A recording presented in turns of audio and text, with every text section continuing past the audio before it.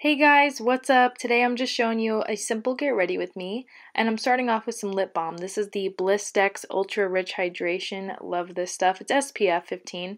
Now I am just taking concealer today for my base. I'm not using any foundation. I'm just going in with the Maybelline Fit Me Concealer, and my shade is number 15. So I just like to use this technique on days where I feel like having lighter makeup and I'm really loving the Fit Me concealer. It's just very lightweight, it's awesome, super blendable too. And you can just see me here blending it out with my beauty blender. I still like to set the concealer and I use two powders for this. The first one I use is the Laura Geller Balance and Brighten. I use the shade Porcelain and this just kind of helps keep things bright on the areas where I want some light. And then for the rest of my face, I use my translucent powder. This is the Kat Von D Lock-It and I just really enjoy this. It's my favorite powder of the moment. And I'm using my cosmetics brush here. I've been really into their brushes. This one's from one of their holiday sets and I just really like this powder. It's very nice if you have dry skin. So then I'm taking my Body Shop bronzer. This is in the shade 01. It's their Honey Bronzer, and I just pat it on very lightly. Just using a little bit of Exposed by Tarte. This is my favorite everyday blush. It's just a really nice natural color. And of course, my Makeup Geek shadows, my favorites. I'm using Bake Sale here. It's just a perfect color for a base. I love this. I've been using it so much right now as a base in my crease. And then I put a little bit of Sidekick. This is a rich, warm brown shadow that I've just been kind of obsessed with with the past couple months. You might have heard me talk about it in my favorites video. And here I'm just cleaning off my brow brush with a little bit of Cinema Secrets. It's an awesome tool if you need some brushes clean in a hurry.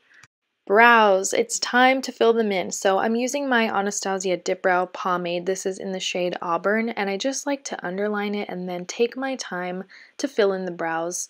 I just like to build it up as I go, as you'll see me doing here.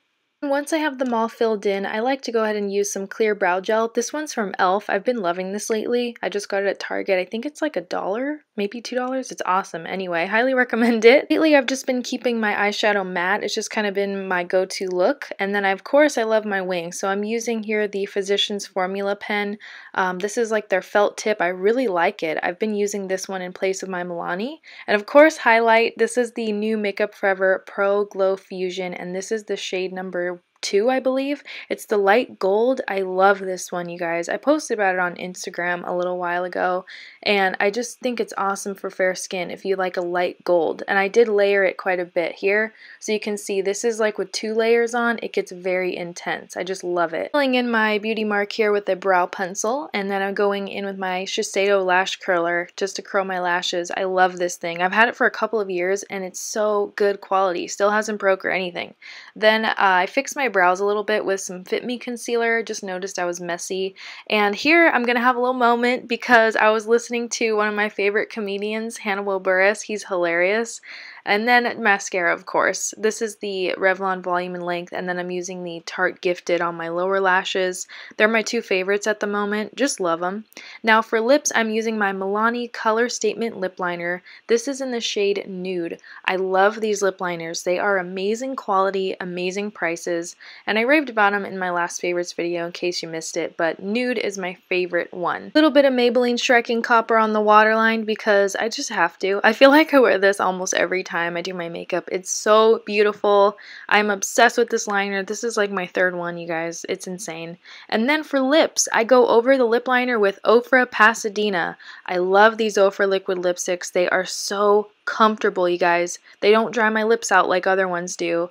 And yeah, I just really love this shade for every day. So that is it for my simple everyday makeup. I hope you guys enjoyed this video. And as always, thanks for watching.